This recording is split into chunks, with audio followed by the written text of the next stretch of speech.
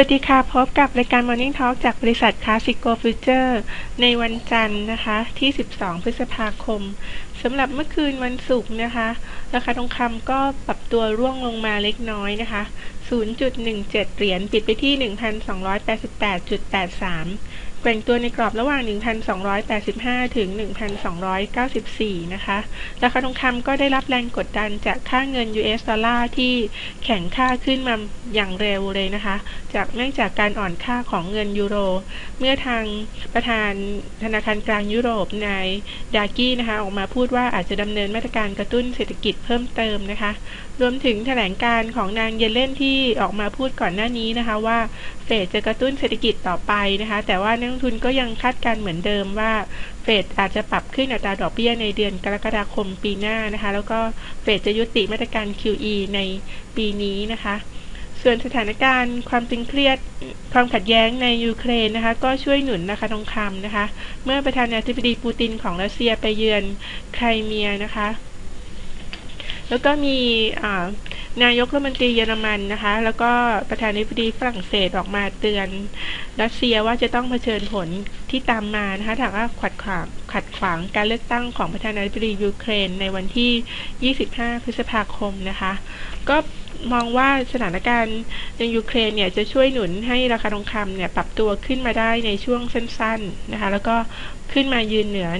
1,300 เหรียญได้ ถ้าหากว่ามีความตึงเครียด มีความรุนแรงเกิดขึ้นนะคะ แต่ประเด็นที่กดดันราคาทองคำก็คือการแข็งค่าของเงินดอลลาร์นะคะ รวมถึงราคาแพลตินัมที่จะร่วงลงมานะคะ เมื่อบริษัท Lonmin ผู้ผลิตแพลตินัมในแอฟริกาใต้เนี่ย เตรียมความพร้อมที่จะเปิดดำเนินการอีกครั้งในสัปดาห์หน้า ซึ่งถ้าหากว่าราคาแพลตินัมร่วงลงนะคะ ก็จะกดดันราคาโลหะมีค่าอย่างเช่นทองแล้วก็โลหะเงินได้นะคะ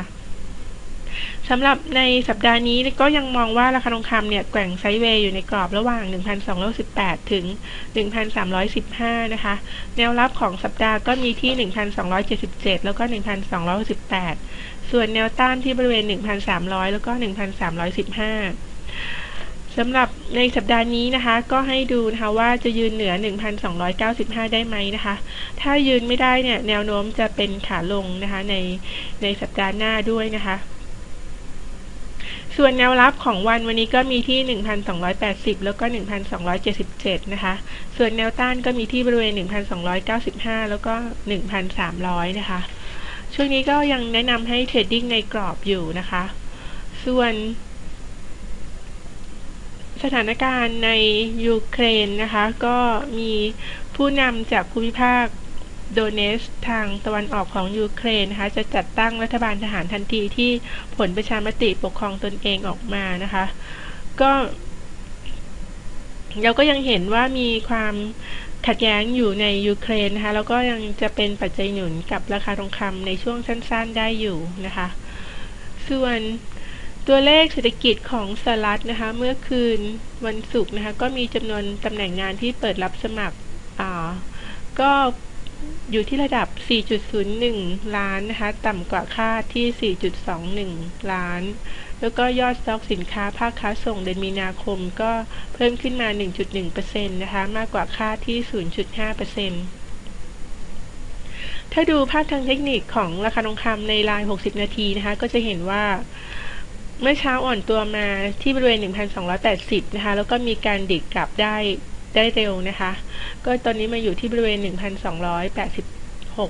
87 นะคะ แต่ก็ยังติดแนวต้านเส้น moving average อยู่หลายเส้นนะคะ ตั้งแต่ช่วง 1,294 ถึง 1,296 นะคะ ถ้าขึ้นไปทดสอบแล้วเนี่ยมีโอกาสที่จะอ่อนตัวลงมาได้อีกนะคะ สำหรับแนวรับก็มีที่ 1,280 แล้วก็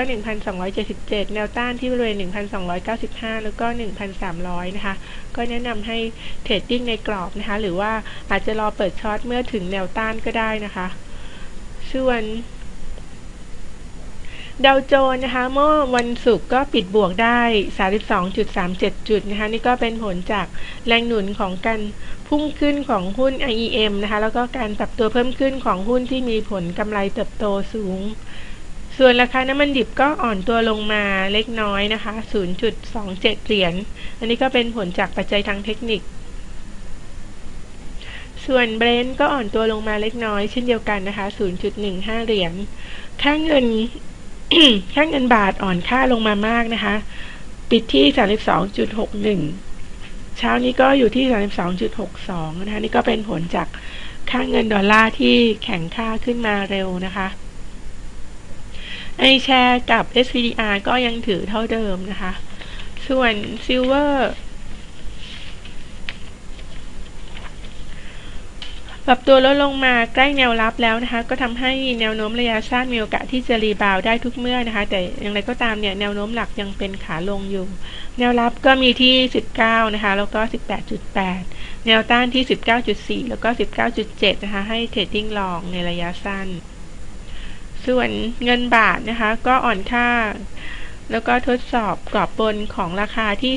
32.6 ถึง 32.65 RSI เข้าสู่เขต overbought แล้วนะคะทำให้ในระยะสั้นราคามีมีโอกาสที่จะย่อตัวลงได้ แนวรับมีที่ 32.55 แล้วก็ 32.4 แนวต้านที่ 32.65 แล้วก็ 32.8 นะคะให้ trading short ในระยะสั้น ส่วนเบรนท์นะคะก็สร้างจุด ต่ำสุดที่ยกตัวสูงขึ้นนะคะทำให้แนวโน้มระยะสั้นเป็นขาขึ้น แต่แนวโน้มระยะกลางก็ยัง sideway อยู่ ก็ให้ระมัดระวังการหลุดเส้น up trend line ในระยะสั้น แล้วราคามีโอกาสที่จะปรับตัวลดลงได้ทุกเมื่อ แนวรับมีที่ 107.5 แล้วก็ 106.7 แนวต้านถึงอยู่ที่ 108.5 แล้วก็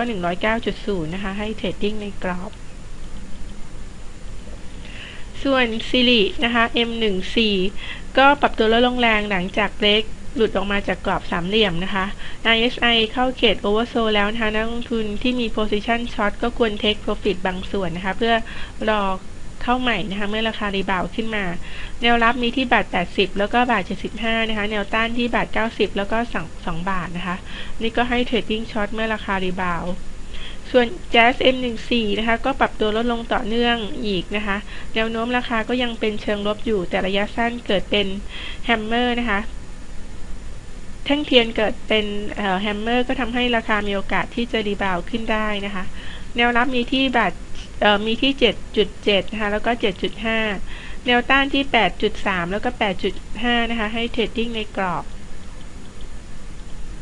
ส่วน True M14 นะคะ ก็ยังอยู่ในแนวโน้มขาลง ราคายังอยู่ต่ำกว่าเส้น Moving Average 200 นะคะ โดยมีแนวรับสำคัญอยู่ที่ 6.5 ถ้าหากว่าราคายังไม่หลุดแนวรับนี้ ก็ยังมีโอกาสที่ราคาจะเคลื่อนไหวไซด์เวย์ในกรอบ แนวรับมีที่6บาท50 แล้วก็6บาท30 นะคะ แนวต้านที่6บาท90 แล้วก็7บาท10 ให้เทรดดิ้งในกรอบ ส่วนเซ็ต50 นะคะ เซต 50 ก็พยายามทรงตัวเกาะเส้น moving average เพื่อสร้างโอกาส rebound นะคะ โดย MACD และ RSI เริ่มชะลอการลง ก็ให้ดูแรงซื้อในช่วงครึ่งแรกของวันนะคะ ถ้าหากอ่อนตัวก็ให้ trading long นะคะ เก็งกำไรการ rebound สำหรับแนวรับ SET50 ก็มีที่ 930 แล้วก็ 918 นะคะ แนวต้านที่ 940 แล้วก็ 947 ส่วนซีรีส์ M14 นะคะ มีที่ 925 แล้วก็ 913 นะคะ แนวต้านมีที่ 938 แล้วก็ 944 สำหรับการวิเคราะห์แนวโน้มตราสารพันธ์จากบริษัทคลาสสิโกฟิวเจอร์ในวันนี้ก็จบแค่นี้ สวัสดีค่ะ